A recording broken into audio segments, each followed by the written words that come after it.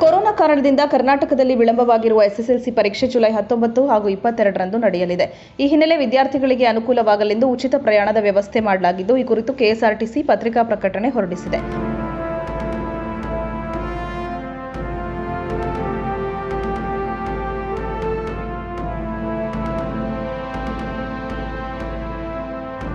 ಆದೇಶದ ಅನ್ವಯ ಉಚಿತವಾಗಿ ಬಸ್ನಲ್ಲಿ ಸಂಚರಿಸಲು ಕೆಎಸ್ಆರ್ಟಿಸಿ, ಬಿಎಂಟಿಸಿ ಅವಕಾಶ ನೀಡಿದ್ದು, ಪರೀಕ್ಷೆಯ ದಿನಗಳಂದು ಎಸ್ಎಸ್ಎಲ್ಸಿ ವಿದ್ಯಾರ್ಥಿಗಳಿಗೆ ಉಚಿತವಾಗಿ ಪ್ರಯಾಣಿಸಲು ಅವಕಾಶ ಮಾಡಿಕೊಡುವುದಾಗಿ ತಿಳಿಸಿದೆ. ಎಸ್ಎಸ್ಎಲ್ಸಿ ವಿದ್ಯಾರ್ಥಿಗಳು ತಮ್ಮ ವಾಸಸ್ಥಳದಿಂದ ನಿಯೋಜಿತ ಪರೀಕ್ಷಾ ಕೇಂದ್ರದವರೆಗೆ ಉಚಿತ ಪ್ರಯಾಣ ಮಾಡಬಹುದಾಗಿದ್ದು, ಪರೀಕ್ಷಾ ಪ್ರಮಾಣ ಪತ್ರ ತೋರಿಸುವ ಮೂಲಕ ಈ ಸೌಲಭ್ಯದ ಸದುಪಯೋಗ ಪಡೆದುಕೊಳ್ಳಬಹುದಾಗಿದೆ.